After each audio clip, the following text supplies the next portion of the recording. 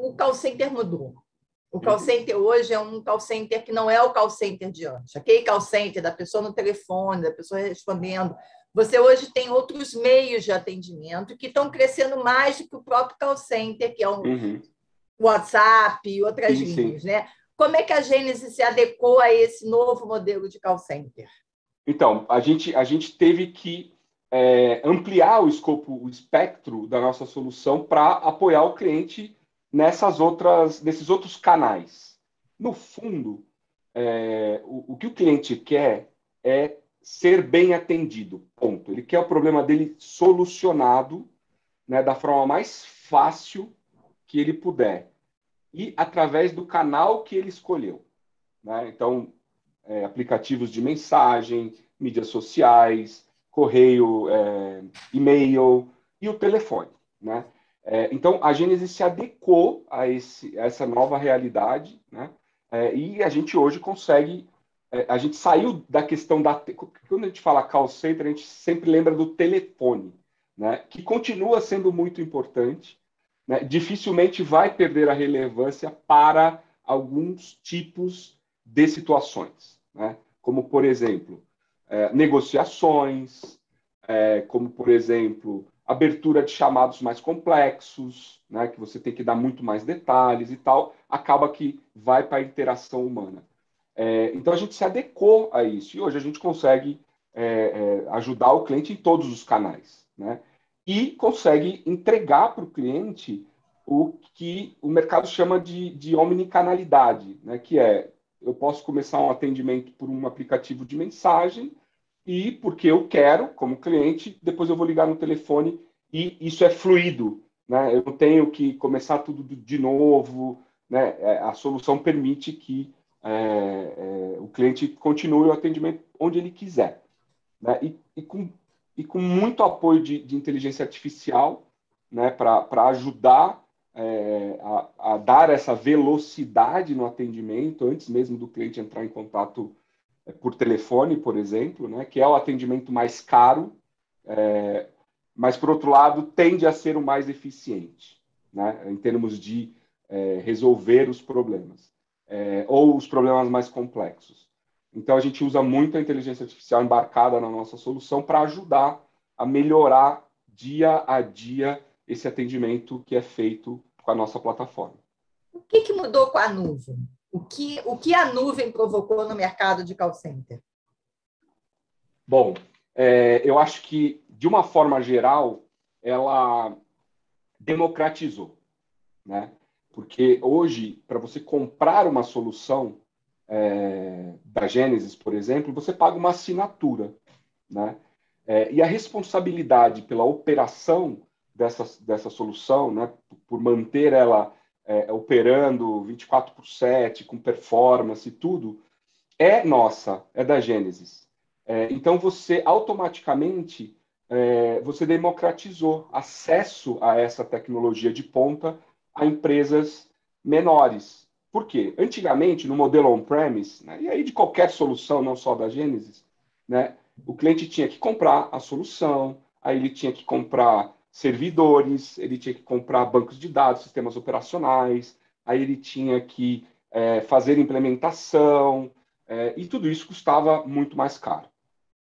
Com o advento da nuvem, a gente democratiza isso, né? leva um serviço que pode ser colocado no ar em dias, né? desde o zero até estar tá com, com um, um, contact center operando. Você tem projetos que demoram dias, né?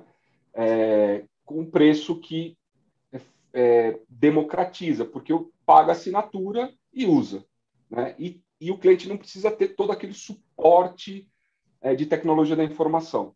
Ao mesmo tempo, é uma solução robusta o suficiente é, para suportar, por exemplo, 100 mil usuários, é, que é o número aproximado de usuários que a gente tem no Brasil, usando diariamente a nossa solução para atender os seus clientes. Então, é, ela é uma solução que democratizou, chega a empresas menores, mas, por outro lado, continua sendo uma solução parruda, uma solução confiável, né, uma solução que é usada por grandes clientes é, de todo o Brasil. A nuvem de vocês está no Brasil ou está nos Estados Unidos? ainda não.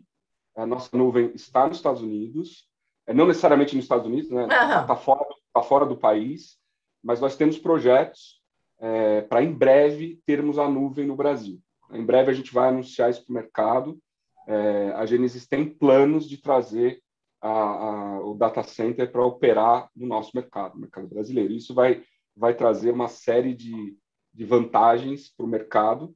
É, e, e, e, o Brasil, dentro da organização da Gênesis, ele tem um papel de destaque. Né? É, então, a Gênesis ela tem os países ela chama de países foco, né? e o Brasil é um desses países. Então, isso é muito bom, porque é, significa que a empresa ela tem planos de investimento né? É, alguns já estão sendo feitos, né? ampliação do time, mais suporte, suporte em português. Né? Então, assim, a gente tem um time grande no Brasil é, de pós-venda, né? a gente tem um time grande no Brasil de consultoria, é, sem contar os consultores dos nossos parceiros, mas é, é, uma, é uma empresa que fala português. Né? Então, é, porque o Brasil é um dos países é, foco ao lado de China, ao lado de alguns países da Europa. Então, isso, isso nos enche de orgulho, porque é, é, é, os investimentos, né, prioritariamente, começam por esses países. Então, em breve, a gente deve ter novidades nesse quesito. Você falou que a Gênesis conseguiu, com a nuvem, chegar a clientes menores. Hoje, as pequenas e médias empresas fazem a diferença para a Gênesis? Muita diferença. Muita diferença. Para você ter uma ideia, é, nós criamos uma área focada no atendimento, a, a, gente chama aqui de empresas em desenvolvimento. Né? Uhum. É, então, a gente tem uma área focada para empresas em desenvolvimento. Né? Então, é, um grupo grande de profissionais, tanto de vendas, de, de projetos, de suporte. A gente está muito apoiado no nosso canal é, é, para atender também esse segmento. Né? E a gente vem conquistando clientes que tradicionalmente, quatro anos atrás ou cinco anos atrás, a gente não conseguiria chegar, né, por, por, conta da barreira do custo, né? ou melhor, a barreira do retorno, né? porque o custo tem a ver com quanto você consegue retornar é, com aquele investimento que você está fazendo. Então, é muito relevante. Eu diria que nós estamos próximos de meio a meio do nosso faturamento, então, mais ou menos 50% é provavelmente dos clientes enterprise, né, grandes bancos, grandes varejos, grandes companhias de seguro, e a outra metade já vem de clientes em desenvolvimento. É um segmento muito importante para a gente. Quando você coloca a questão da empatia, isso me traz o seguinte: call center não é, não tem empatia. A maior parte das pessoas não gosta do call center, uhum. reclama, né, do atendimento do call center. Como mudar isso? Bom, é, esse é um tema que está super em, em discussão na maior parte das empresas. Eu costumo dizer, Ana, que o cliente pode fazer sua empresa crescer ou desaparecer. Né? Então, nós, como consumidores, como clientes, a gente tem esse poder nas mãos. Né? Hoje, é, o mercado ele tem, ele tem uma competitividade em todos os segmentos. Né? Então, se você não, não, quer se relacionar com a marca A, você pode se relacionar com a marca B. Se a gente pensar em 30 anos atrás, talvez até um pouco menos que isso, é, não, era, não era bem assim, a gente tinha meio que uma opção é, para determinados produtos, tinha só aquela opção, então meio que você tinha que ficar é, e tinha que se sujeitar àquilo. É, isso trouxe uma cultura para o nosso mercado de ser é, resiliente ao mau atendimento, né? É, ser resiliente e ter mais tolerância ao mau atendimento. E aí as coisas mudam, né? o mundo se tornou digital, é, as empresas começaram a, a, praticamente todos os segmentos você tem concorrências né, no mesmo nível, então se você não quer comprar televisão A, você pode comprar televisão B, né, do, do, ponto de vista tecnológico elas, elas são o mesmo produto, né, se você não quer comprar o aparelho celular A, você pode comprar o aparelho celular B, que também do ponto de vista tecnológico é o mesmo, é o mesmo produto, e assim para quase todos os segmentos, alimentação e tal. É, e o consumidor começou a se empoderar, né? ele começou a se empoderar é, é, e perceber que, é, de fato, esse poder está na mão do consumidor. E aí a gente entra na era do consumidor, mais ou menos é, ali no, no, no, no 2010, 2012, 2013, é que se começa a ter essa revolução aqui no nosso mercado, obviamente, começa a ter essa, essa revolução é, dos consumidores perceberem que eles tinham esse poder e que eles deveriam exigir mais das marcas. É, e de lá para cá, essa coisa vem evoluindo e forçando com que as empresas se adaptem a esse, a esse novo cenário. Porque simplesmente, se você não se adaptar, o cliente deixa de se relacionar com você. É, a gente ainda tem um caminho longo é, para percorrer, tem muita oportunidade de melhoria no mercado brasileiro, no mercado global, mas falar aqui do nosso, do nosso país, do mercado brasileiro. E eu acho que tem três grandes coisas que precisam ser feitas para ter um bom atendimento, para é, realmente encantar o cliente. Que esse é o, esse é o, é o se, grande segredo. Eu preciso encantar o meu cliente a todo momento é, que eu estou me relacionando com ele. Não necessariamente só no momento em que ele tem uma necessidade e entra em contato com, o meu contact center.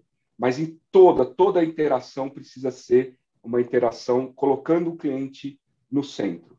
Então, eu costumo dizer que precisa ter processos muito bem pensados e orientados ao cliente. Né? Isso, isso é fundamental. É fundamental que você pense é, e coloque o seu cliente no centro das atenções da sua empresa.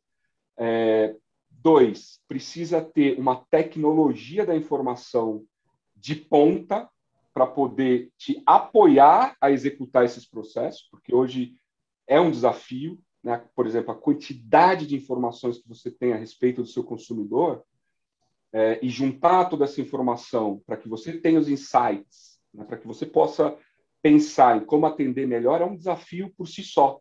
Né? Então, precisa ter tecnologia de ponta né, para atender. É, e o terceiro pilar, eu acho que os três têm o mesmo peso, mas o terceiro pilar, eu não sei o quanto a gente de fato olha para isso, é o employee experience. Né? É converter o seu colaborador, o seu funcionário, é, em embaixador da sua marca. Né?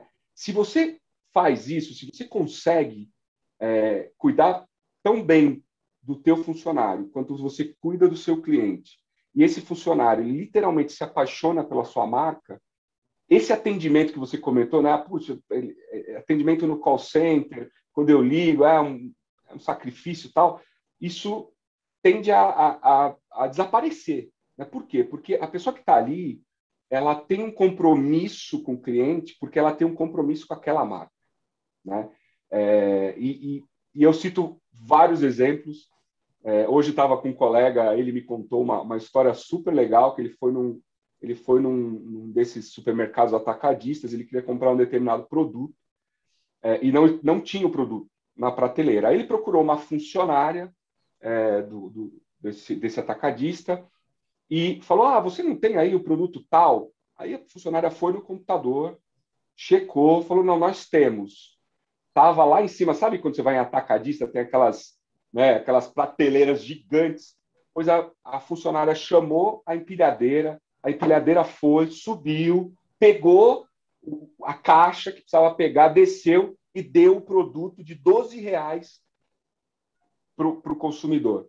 Isso provoca um, não é só isso, mas isso provoca um encantamento. Né? É, é, por quê? Porque aquela pessoa que foi lá checar, aquela atendente, provavelmente ela tem um compromisso com a marca, ela tem um compromisso com o cliente. Né? Então, o caminho mais fácil seria, ah, realmente não tem, ela foi lá, ela viu, ela pegou a empilhadeira, o cara da empilhadeira também foi lá, pegou aquela caixa, desceu, trouxe. Então, quando você converte o seu funcionário é, num, num embaixador da sua marca, essas coisas começam a acontecer, inclusive no call center. Né? Por isso, você começa a perceber. É, teve um movimento no, alguns anos atrás de terceirização dos call centers. Né? Hoje você começa a perceber um movimento inverso, né? porque descobriu-se que o call center é tão estratégico quanto uma área de marketing, quanto uma área de vendas. Perfeito. Você disse que a Gênesis está fazendo 20 anos no Brasil. O que, que vocês querem do mercado brasileiro para para o final de, de 2021, a gente sabendo que o Brasil vive um momento muito conturbado, né, econômica, politicamente. que, que vocês e que, como é que vocês querem marcar esses 20 anos de Brasil? Obrigado pela oportunidade de falar sobre isso. Primeiro, eu tenho muita sorte de estar aqui nesse momento. Né? Tem 10 meses que eu cheguei na Gênesis e cheguei no momento de celebrar os 20 anos da companhia no Brasil. É, a Gênesis sempre teve um comprometimento muito forte com o mercado local. Né? É, então, sempre foi é, uma empresa que, que fez investimentos. Né? O nosso time no Brasil é um time é, bastante grande e competente. Né? A, a companhia faz um investimento é, em treinamento, em capacitação, em contratar bons profissionais e tal. É, e a forma como a gente quer marcar o nosso mercado, e eu diria que a gente vem trabalhando duro para isso, é ajudar o meu cliente a entregar a empatia para o cliente dele. Né? Então, a gente diz que a nossa tecnologia mais o pessoal do nosso cliente, juntos, vão entregar a empatia que o, que o consumidor final tanto quer, particularmente nesses últimos meses, que está todo mundo, né, é, enfim, a flor da pele, todo mundo é, já, já saturado dessa situação toda que a gente vem vivendo. É, e a gente tem um compromisso muito forte, muito forte com os nossos clientes, é, a gente realmente é, olha é, essa, essa relação entre a Gênesis e o nosso cliente como uma relação de longo prazo é, e a gente ajuda esse cliente a prover o melhor serviço possível para o cliente dele.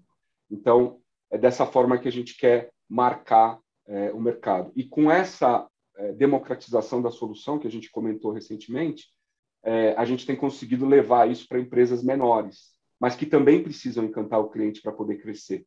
Então, dá muita satisfação é, quando a gente vê uma empresa que é menor, que tradicionalmente não seria um cliente da Gênesis no passado, ela, ela podendo usufruir dessa tecnologia né, e podendo prestar um melhor atendimento ao seu cliente. Assim como dá uma satisfação danada ver um cliente que tem milhares de posições de atendimento com a nossa tecnologia, podendo implementar estratégias muito mais arrojadas, muito mais orientadas ao cliente, porque a tecnologia que a gente vende permite. Né? E, no fim, é, é, o crescimento do nosso mercado, né? o crescimento do mercado brasileiro. E, e não estou falando só do crescimento da Gênesis no Brasil, mas o crescimento do mercado brasileiro. Você tem uma ideia, Ana? Quando estourou a pandemia, a Gênesis globalmente, aqui no Brasil a mesma coisa, a gente cedeu a nossa solução de graça por alguns meses para os clientes né? porque as empresas precisavam do dia para a noite né, digitalizar o atendimento ao cliente. Tinha muita empresa que não, não conseguia, não tinha como fazer isso em curto período de tempo. Então a gente disponibilizou para diversos clientes no Brasil a nossa solução é, de forma gratuita. É, alguns deles converteram e hoje se tornaram nossos clientes, outros não, não tem problema. Nosso, nosso, é, nosso objetivo naquele momento era genuinamente ajudar as empresas e a gente conseguiu fazer isso.